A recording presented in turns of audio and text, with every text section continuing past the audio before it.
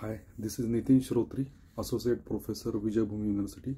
Our research is about how we can combine the creativity of human beings using the AI tools to develop various options in creative content writing. It can be a book, it can be an article, it can be a blog, and without hampering the creativity of humans, but at the same time utilizing the best expertise of AI tools. How can we combine this or integrate this? This is one major purpose of this research.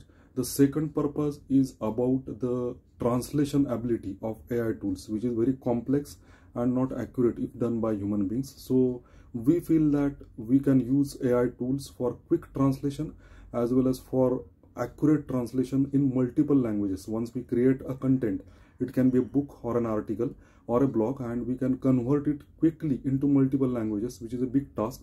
And then the content can reach to the audience very very quickly in the form of ebook or a print book. So this is our purpose. Thank you